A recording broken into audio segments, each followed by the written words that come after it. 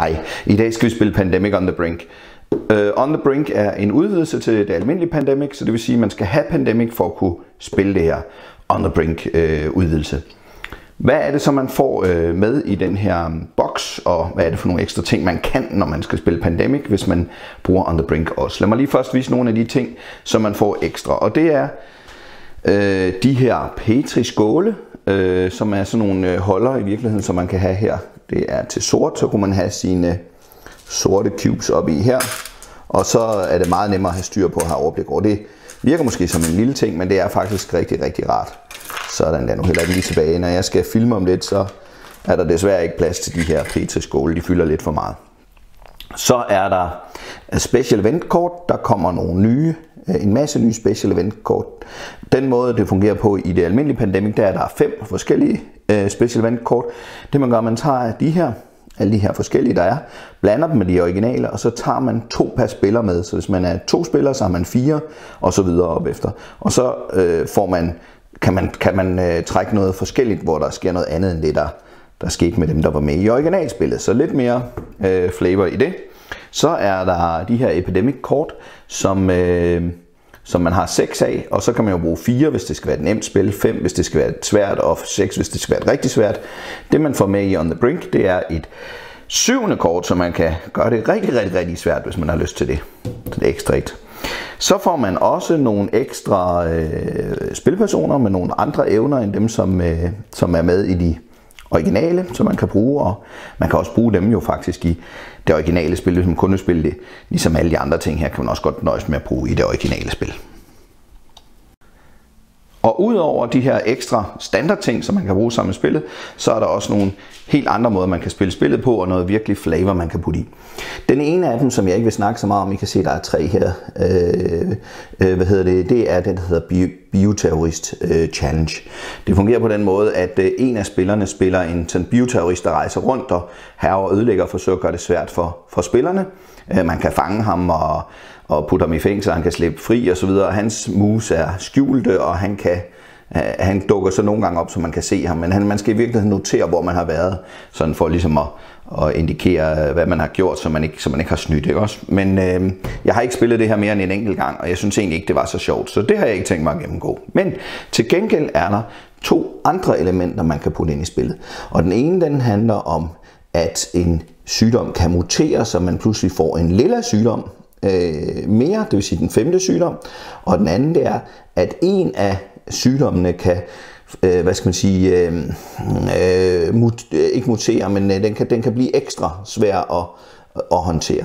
Og det er sådan, at man kan vælge, om man vil spille med den ene, eller den anden, eller begge to. Man kan faktisk også kombinere en af dem med bioterroristen, men det vil jeg jo ikke spille. Så det jeg har tænkt mig at gøre, det er, at jeg har tænkt mig at spille med begge ting, så I kan se det hele. Hvad er så øh, de her øh, ting, der, der følger med? En af de ting, man gør, hvis man skal spille det her øh, virussporet, det her, at man har nogle øh, epidemier, og de fungerer på epidemikort. De fungerer på samme måde som de grønne almindelige epidemikort. Jeg kan lige jo et over, så I kan se her.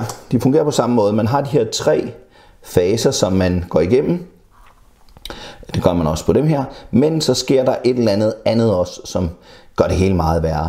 Så det, det, er, det er sværere at spille med det her end med, det, end med den originale grønne, men, men til gengæld også mere varieret. Så dem vil jeg tage med. Og det fungerer jo på samme måde som helt normalt. Her, der er bare flere.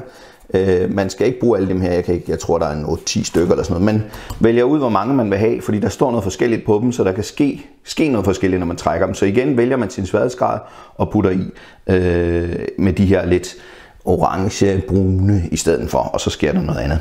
Så, så det er egentlig sådan simpelt nok. Øh, så er der den, den anden, den, den anden øh, variation af spillet, den der hedder mutationsudfordringen. Øh, det fungerer på den måde, at man lægger de her kort op i, i bunken her, eller det vil sige, man lægger dem faktisk her. Og så begynder man at lægge op, som man plejer med at inficere, og det betyder, at første gang man vender den her bunke op, så begynder de her at komme frem. Og de her, de øh, spreder den lilla sygdom ud øh, over verden. Ydermere, så vil der i øh, det her, øh, øh, de her kort, som spillerne får på hånden, der ved I, at nogle gange så kan der jo dukke de her epidemikort op, grønne eller brune, men så vil der også kunne dukke sådan nogle her op, som får den lille sygdom til at sprede sig mere.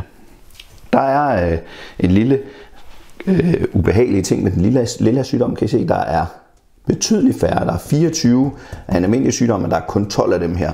Og ligesom med almindelige sygdomme, så sker der det, at hvis øh, der ikke længere er nogen lilla tilbage, ja, og man skal tage at tage en, og man ikke kan, ja, så har man tabt.